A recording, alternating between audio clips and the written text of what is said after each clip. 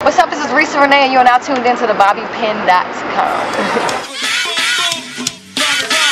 You inspire me to ride, ride, ride to see. And yes, I will bring every, everything to the table that you placed. What's up, y'all? It's Reesa Renee. I'm an artist, soul singer, lyricist, all that from the DMV.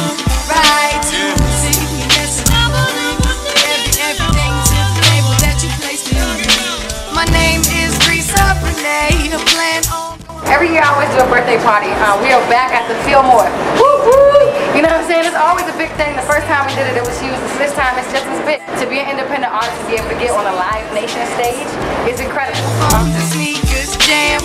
Rocking left and right as I do my dance.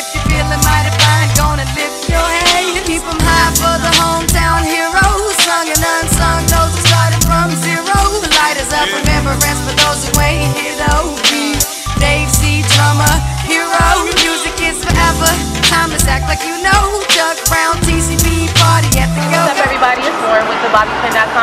We're here with Reesa Renee. She just killed the stage at the Fillmore. Thank you. Wonderland Cool Tour. How does that feel? I felt amazing. It felt amazing. It's like if you build it, they not they won't. It's no guarantee that they're going to come. You know what I'm saying? And to see the turnout tonight was absolutely insane. Uh, it's absolutely insane. I'm so grateful. You know what I'm saying? On your birthday. On my birthday. One wish for your birthday. What would that be? Uh, my wish has already been granted. Uh, that my dreams come true. And honestly, tonight, in this moment in my career, it was truly a dream. I never thought it could actually happen, and it happened as a reality. So the DMV coming out and supporting me and, and fighting those uh, sayings that DMV doesn't support, that is some bull because DMV show out. I really hope somebody got a picture of the crowd because I was so busy dancing around, I don't really remember. But either way, like, like that's the best birthday present I could ever have.